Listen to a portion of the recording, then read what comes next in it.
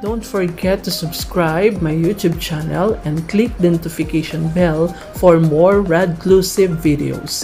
Thank you!